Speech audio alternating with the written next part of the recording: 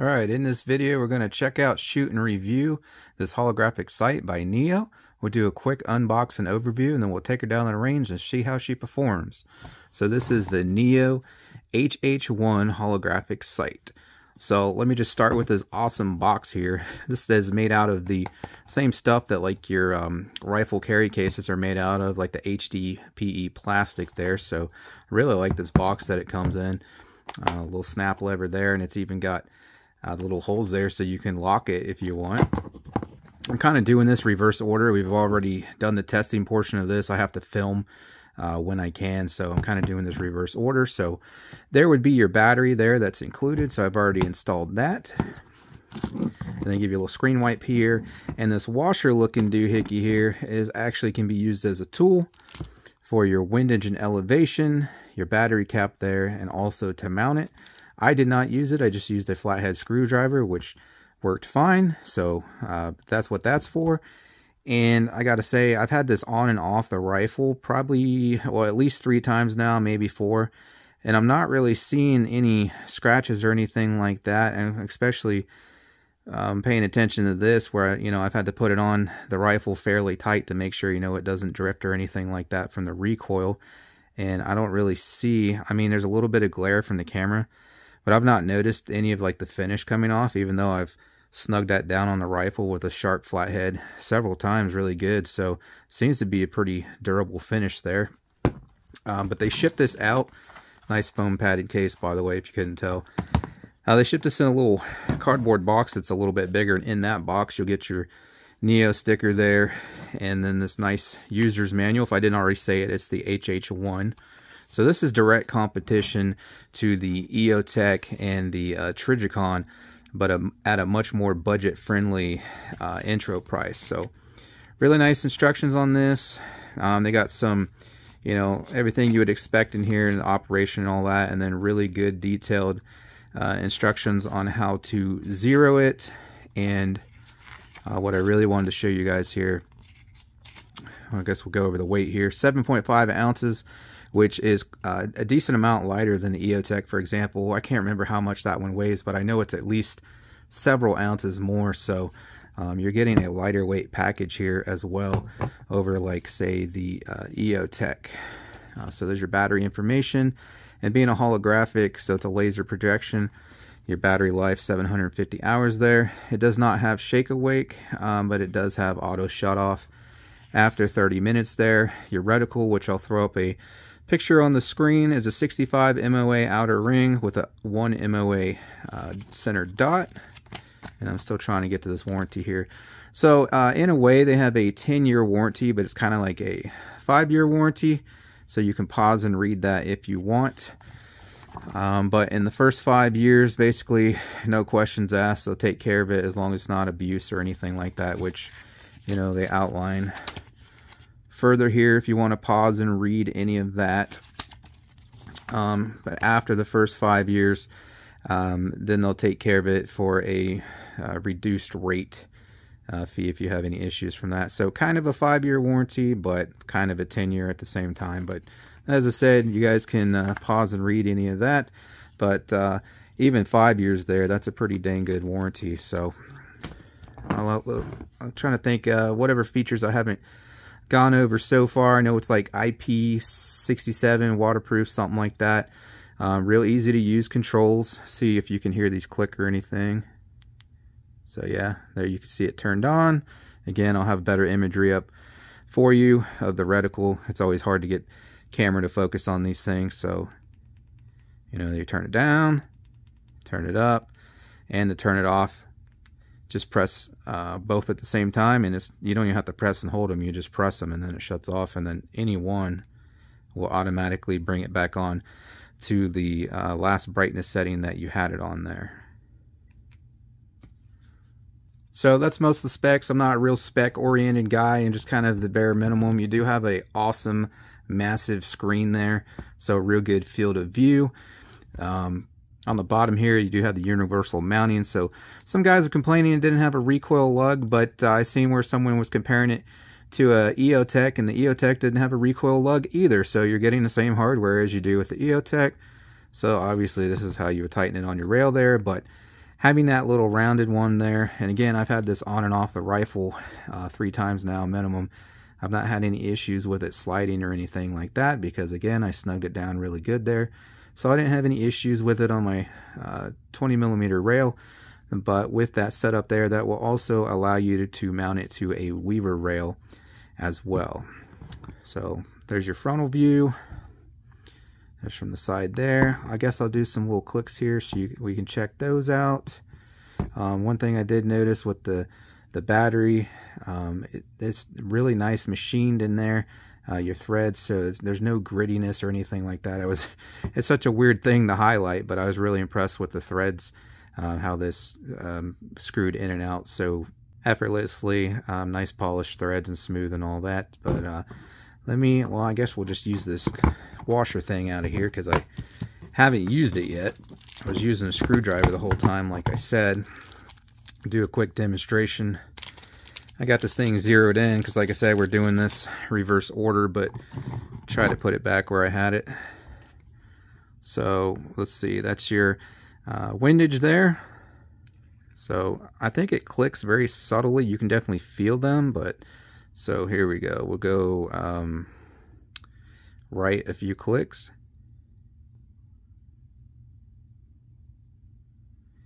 Yeah, I'm not hearing anything, but there's like little bumps in there that you can feel. Yeah, so I would prefer a click, but what's I'll tell you what's most important is that they actually do what they're supposed to do and move the reticle, and that they don't drift under recoil, which they have not. This thing maintains zero for me, no problem. Got some pretty long range shots coming up in this video as well, so stay tuned. And then for the elevation, see here, let's go, um, I guess I'll be going, well, down then up.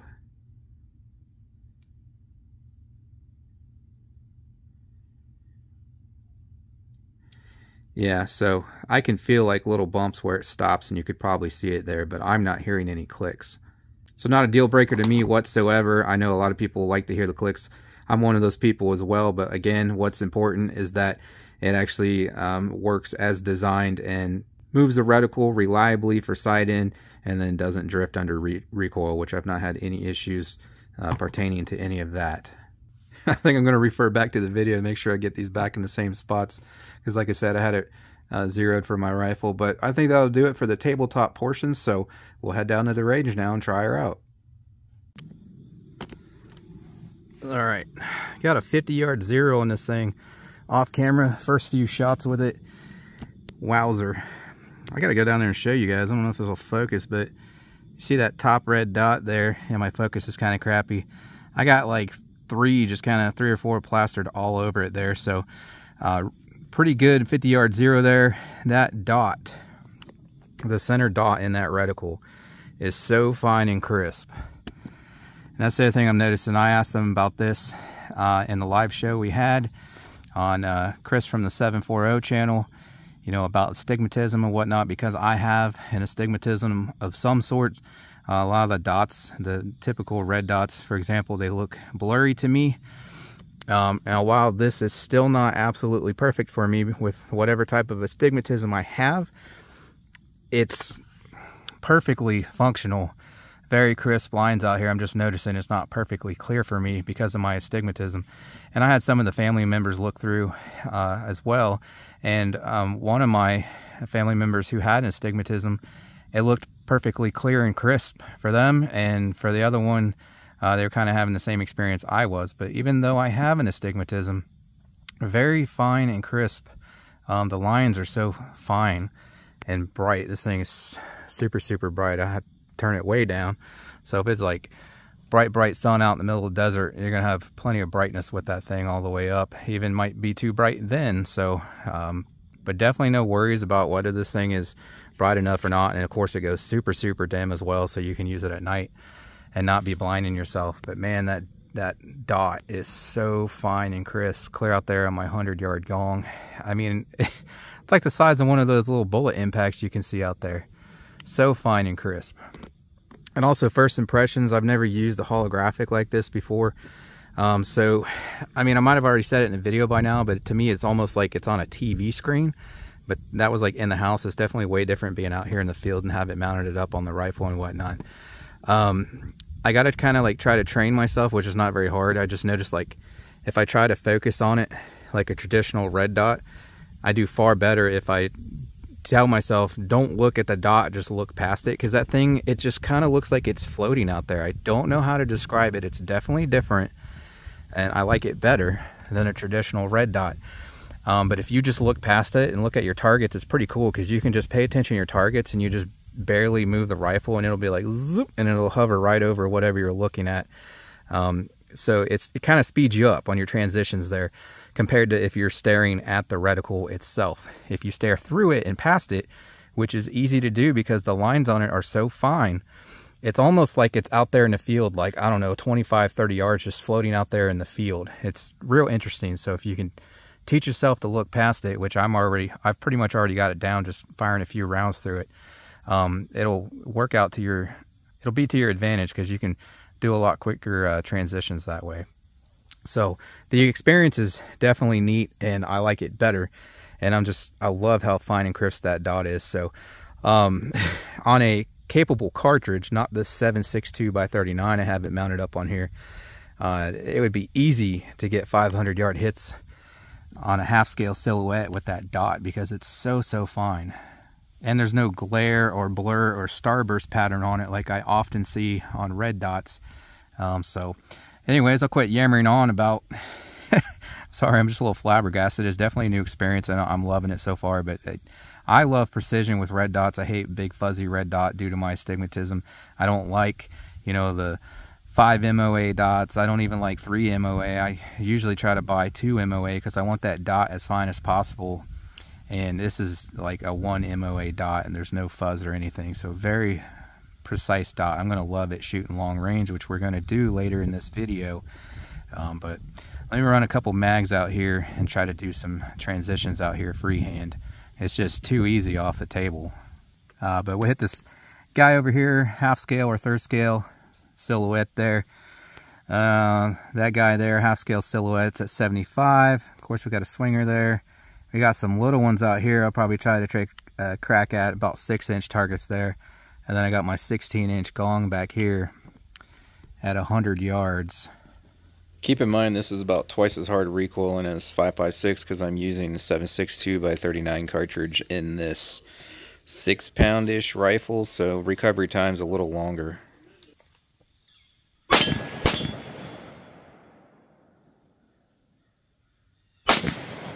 Just turn the brightness up one click here.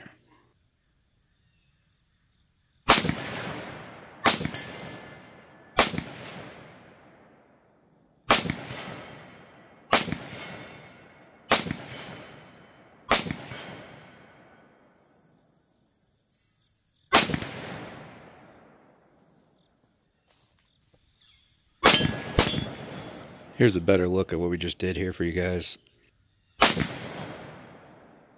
75 twice and then 100 on your left.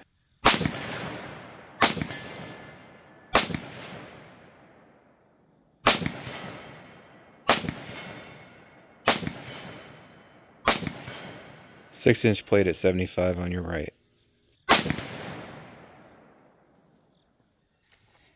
All right, that one miss at 100 yards is my fault. I pulled it high. I'm not the best uh, freehand like that, so I'll load up and spin a few off from the table here. You know, actually what I'll do first, I'll go out there and crouch. I'll be a little more steady that way. Again, this is 762 by 39, so the recovery time from recoil is longer.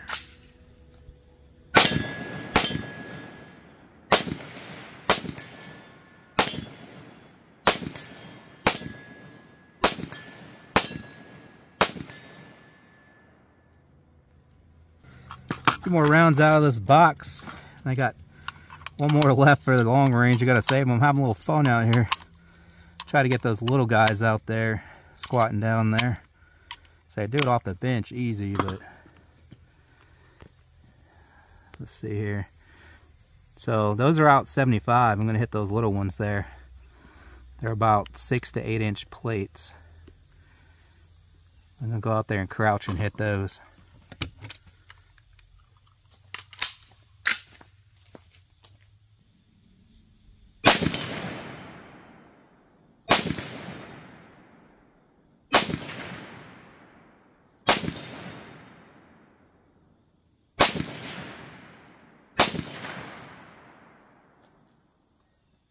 Well, I missed that one guy once because it was almost perfectly parallel, if that's correct terminology. Turning sideways on me there, making real skinny targets, but 75 yards. Which that reminds me, I need to show you that uh, 50 yard grouping down here. And I wasn't even really going for accuracy. I was just, you know, getting it rudimentarily zeroed. So not my best shots, but it was still just stacking them on top of each other.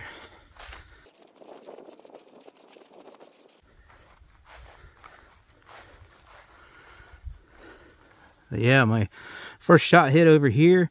And then I had one, two, three existing holes. So I brought it over to the right some and went a little too far and hit that existing hole there from previous video. And then it just stacked like four right here, right on the dot without even really trying. So um, again, because that dot is so fine and crisp, I'm able to print real nice tight groups as if I had a scope up on there. But I got one more box of these, so we'll save that for the rifle range. I'm going to get this guy out at least 300 yards. That right there was $26 in ammo. That's going to put us at 39 once I use those. Uh, but again, I'm shooting 7.62 by 39. Wanted to give it a little better test. 7.62 by 39 Anderson here. This thing is a rattle trap. It's super lightweight, so a lot more recoil than uh, your 223 5.56. So it's a, a lot better test for the optic there, which by the way, again, in the live chat, at the uh, Chris from 740 channel. Um, I asked them about how much recoil this can handle, and uh, they told me how they took it down to, a range and let the guys mount it up to a bunch of different machine guns and just run the crap out of it. And they all held zero according to them, so no issues there. I mean, if it can handle a freaking machine gun, then it should be able to handle semi-auto, no problem. But, you know, they ran the crap out of it on machine guns. I also asked about 12 gauge. Guy said he had it on a 12 gauge and still holds zero and all that. So, should be a pretty tough optic. Um, but again, as I probably said earlier in the video, they got like a 10 year warranty on these anyways. So, but yeah, let's head down to the rifle range and we'll take some long range shots with it, or at least medium long range there, and uh, we'll wrap this up. So between that filming and this filming, I actually dismounted the optic and remounted it here at the range. So I picked a random piece of debris down here at 100 yards to check zero and surprisingly it held zero after I reinstalled it. So I'm aiming at the very bottom of that piece of white debris there. Well, you just saw it there. It hit right at the very bottom of that white debris, about centered between that barrel and the pallet.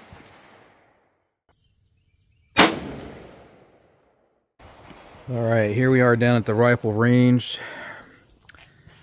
Got the Neo up there, same ammunition. Now remember, we're zeroed for like 50 yards, so I'm just to go ahead and go straight for 300 out, out here. So obviously, going to have some bullet drop, especially with the 7.62 by 39. It does not shoot as flat as, you know, your 223, 5.56. Um, so basically just to aim high and and that's a 16 inch plate down there by the way so I'm gonna start you guys out zoomed in uh, in case I don't spot it with my naked eye, which is likely because it rained out here, so it's not going to kick up dust or anything like that. So in case I need to see it, we'll stay zoomed in here first, but I'll get you a few. What the hell is going on over here? Zoomed out. It was like somebody threw a giant branch or something, or like a tree was falling down. I don't know. Sorry for the distraction. It was loud as hell. I Hope you guys can hear that. Anyways, we'll start zoomed in here and then I'll get some zoomed out.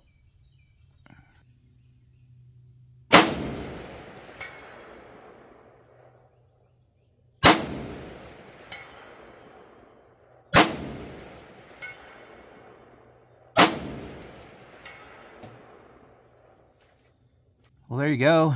And the height looks good, so wish I had a better focus for you guys there, but it looks like we're averaging off to the right there, so get the one zoomed out now, so that was pretty easy. And yeah, that crisp dot there again, it just makes it super easy because it's very easy. It's so, so much smaller than that plate out there at 300 yards.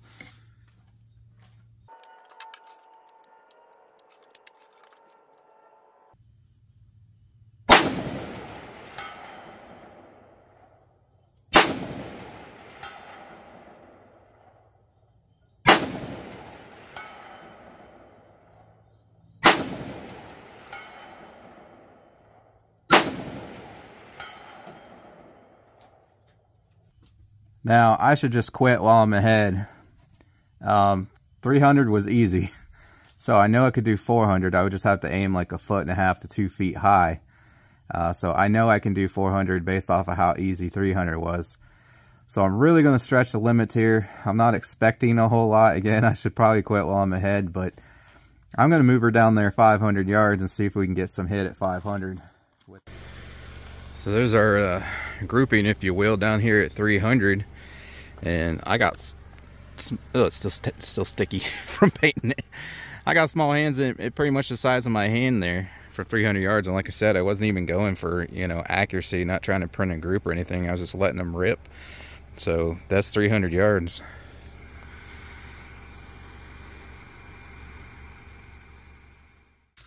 All right, down there, the full 500 now. So let's see what we can do. Now I only had just a few rounds left, so unfortunately I did not have the right aim point above the target here. I have no doubt in my mind, especially based off this group you'll see on the dirt here, that I could get these hits at 500 yards with that fine one MOA dot that this thing had. So kind of hard to see in the footage here, but they're hitting about two gongs low there.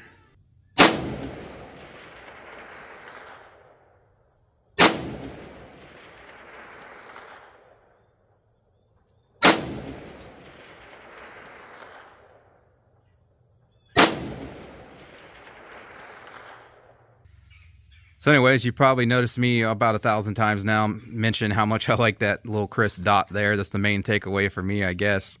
Uh, the, the reason I like dots and now this holographic here is because they're more precise. They give you more precision than, you know, your typical iron sights. Because uh, that, you know, the dot's typically a lot smaller than what you're seeing with your iron sights. So uh, a good bit amount of better precision from a, a typical dot than what you get with iron sights. Obviously, not quite as much as a scope.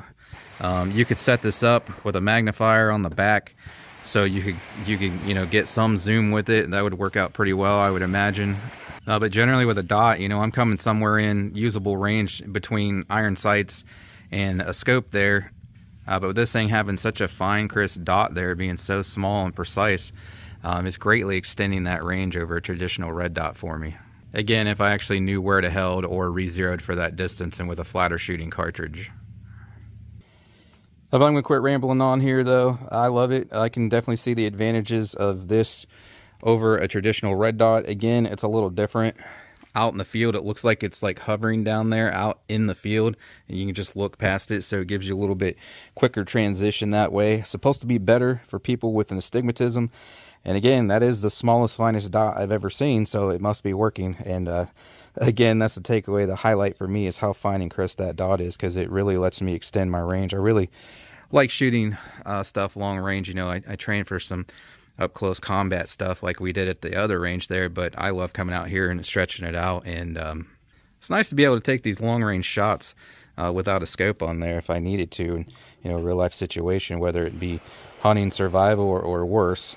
So yeah, definitely a good contender here to the EOTech and the Trijicon holographics. Um, this comes in, you know, way less than those. I think right now, if you guys uh, hop on quick enough, uh, this is like 320 on Amazon right now. Again, there'll be a link in the description. Um, and when we was talking on the 740 show, uh, they said that's, you know, it's only going to last for like a week or two. By the time this video posts, you might only have a few days left. I think they said uh, the regular retail on this was like 450, 500, something like that, which still puts it less than a uh, EOTech or a Trijicon. But right now, since it's brand new and they're trying to make a name for themselves, uh, you can get these around 300 bucks at least for the next couple days after this post. So again, link in the description. Go check it out. If you guys want to get yourself any of the other products you see me use in my videos, safety glasses, ear muffs, shooting bag there, target stand, paper targets, steel targets, rangefinder, and way more, links in the description for all that. But thanks for watching, guys. I really appreciate it, and I hope to see you on the next one.